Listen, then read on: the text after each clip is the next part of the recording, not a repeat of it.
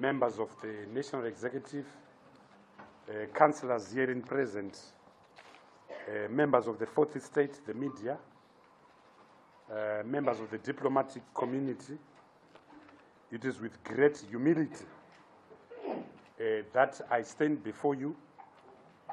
It is gre- with great humility that we, the councillors, that met from 9 o'clock this morning, are presenting ourselves uh, to the people of Zimbabwe, to our African brothers and sisters, and to the international community, making a point that we, members of this council, the genuine Democrats in our party, the people who believe that renewal, not just of the MDC, but of the entire democratic movement, is called for in this country. We, those who met today, who genuinely believe that the country is in a serious national crisis, a crisis of leadership, a crisis of legitimacy, a social crisis, a moral crisis, and an economic crisis, which is calling out for an answer. We have met here to try and address both our internal issues and the external issues are surrounding the political crisis, the economic crisis, the social crisis, and the moral crisis. And I want to say that we are very humbled. And I think that what has happened today to us is the ushering in of a new stage, a new advancement in the struggle, the post-liberation struggle for the democratization of Zimbabwe. We strongly believe as Democrats that the first phase of the post-liberation, post-liberation democratization of Zimbabwe, which we formed and were part of since 1999 to 2013, just like the liberation movement itself has gone sterile, has become exhausted, has become arrested in massive contradictions. So the post-liberation movement needs renewal. And this, what we are doing here, represents the first step of the renewal, the re-energization, and the rebuilding and the reconstruction of the democratization struggle in Zimbabwe.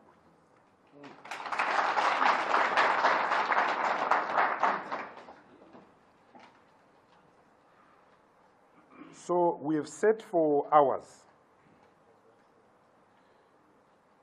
We discussed in extenso the problem arresting our party, the movement for democratic change. And we came to the following resolutions on the party that the MDC, as we know it, has abandoned its original founding values and principles of social democracy, of justice, of equality, of liberty, of transparency, of non-violence, of constitutionalism, and of humble, obedient, and servant leadership. In our discussions and resolutions, we came to the firm conclusion that the party we call the MDC today is not recognizable from the party that was formed by the working people of Zimbabwe on the 11th of September 1999. It is not recognizable from the party that won the 2008 election. We have come to the conclusion that the party has been hijacked by a dangerous fascist clique bent on destroying the same and totally working against the, working people of Zimbabwe. We have come to the conclusion that the following issues distinguish hmm, us, define us. the following issues create a juror between us and our former friends and colleagues in the old MDC as we knew it. Number one, the use of violence. Number two, the abuse of power and the patronage system in the party. C, the use of all forms of intimidation, duress, and misuse directed against those that have dared to speak their voice for democracy and renewal in the party. We have seen, ladies and gentlemen, the assault that took place on Honorable Mangoma on the 15th of February 2014. We have seen the dissolution of the entire Matabeleland North Province, led by Chairman Chabang. We have seen the dissolution of the entire province of Mat South, uh, whose chairman you just saw addressing you. We have seen the unlawful suspensions of uh, comrades in Matabeleland North, so in Manicaland in particular, the chairman Julius Magarangoma and the secretary Honorable Pishai. We have seen massive pages, unconstitutional and unlawful pages uh, in our party, in Harare, in Mashonaland West, in Mashonaland East, in Chitungwiza, and in the Youth Council.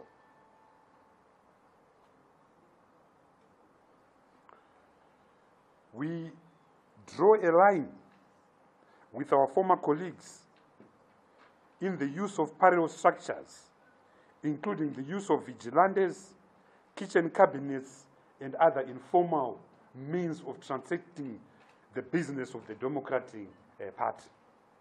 We draw a line with our colleagues in promoting the culture of malice, rumors, and gossip. Some of us have lived permanently with the tag Adakuvisa president. Uh, baseless, uh, baseless uh, uh, things which are not promoted uh, in our constitution. We draw a line firmly against the abuse of the constitution. One of the main reasons why the MDC was formed by the working people of Zimbabwe in 1999 was to run away from the culture of ZANU-PF, of abusing the constitution, of changing the constitution 17 times. Each time they lost a case in the constitutional court. We have seen the constitution being abused in the MDC. The suspension, the original suspension on, of Honorable Mangoma on the 7th of March 2014 was done without recourse to Article 12 of our Constitution, which makes it clear that a member of the Standing Committee can only be uh, suspended if a two-thirds majority of members of the National Council uh, uh, vote. The pages that I've been talking about are all unconstitutional. The suspensions that I've been talking about are all unconstitutional. So we, the Democrats gathered here, are making a clear point that we can't run away from a ZANU-PF known for breaching the Constitution and then allow the same misdemeanor, the same opinion, the same opin uh, commissions and omissions to happen in a party that we call ours. So we are putting a stop and saying a no to the abuse of the Constitution and the rule of law uh, in the MDC as we knew it uh, originally.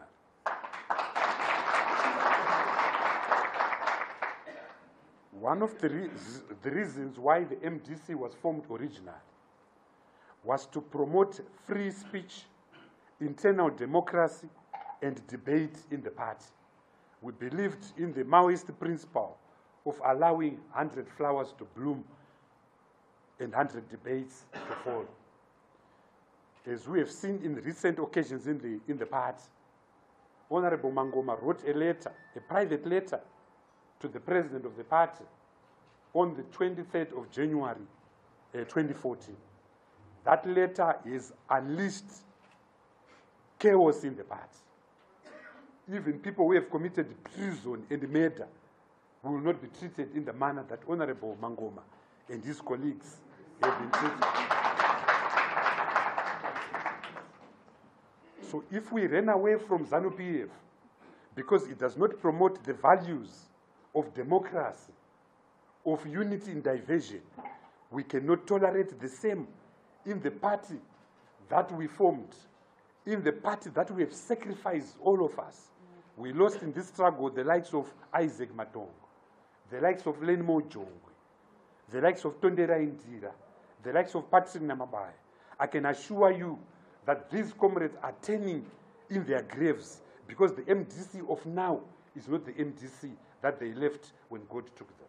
Mm. So we are drawing a line against that. We will not allow the same dictatorship of ZANU PF to be to surround us. In short, uh, comrades and friends, and you will see it in our document, the MDC as we know it now has been ZANUfied. And we who are here are running away or are putting a stop from the ZANUfication of our beloved movement. We are saying no to the incorporation of traits that are in ZANU PF, which we have run away from. And in this regard, we restate our commitment to a depersonalized struggle. One of the challenges of our current party is that it has been personalized and privatized. Even the name of the party is someone's surname. Even the party symbol is someone's uh, handsome face. We cannot accept it. we cannot accept it.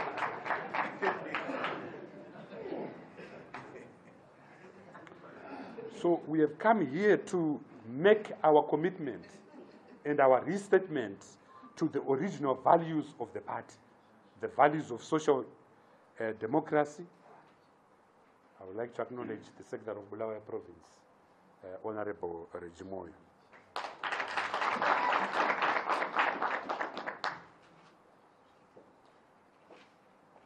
So we want to reaffirm the original values of the party, the values of social democracy, the values of, of transparency, the values of uh, humble and obedient leadership, which are so well defined in Article 3 and Article 4 of the Constitution of Zimbabwe. We have also come to the resolution that the dear leader, Comrade Morgan Tsvangirai, can no longer be considered as a Democrat or a comrade in this struggle, is clearly unsuitable and has disqualified himself as a fit and proper patriot with the legitimacy, credibility, ability, decency, or honesty of leading and executing the democratic struggle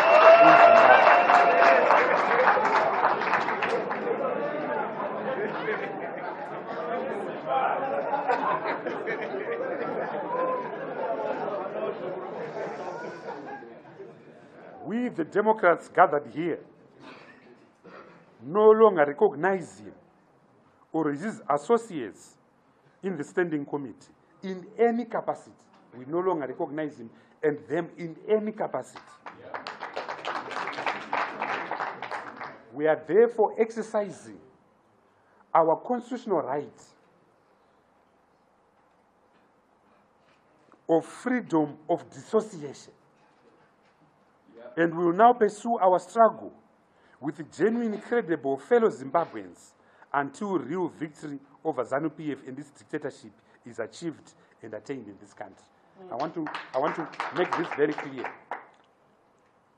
The Constitution, one of the fundamental rights in the Constitution is freedom of association. The MDC is a voluntary association.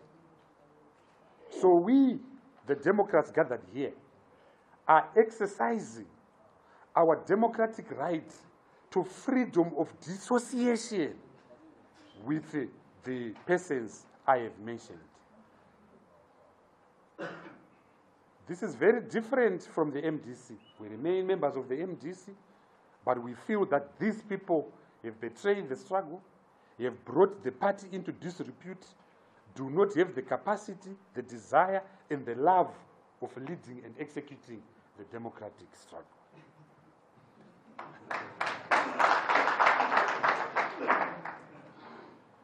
The next question that would then immediately arise is what you are creating a leadership vacuum. And our answer, our resolution is this. We believe that the party must immediately be placed under the control and the curatorship of the Party of Elders and Veterans in the Guardians Council, who must run the party and prepare for Congress, where members, where members should be free to elect new leaders, where there should be no violence, no gossip, no illegal or corrupt electoral practices. We as Democrats gathered here, we undertake to build our movement, to deal with the issue of structures, to restore to our movement the same legitimacy, dignity, and respect it has commanded on the African continent in the last 15 years, which in the last few months has been debased and devalued. So we rebuild our party from the current ashes and dust to the proud organization it has been before.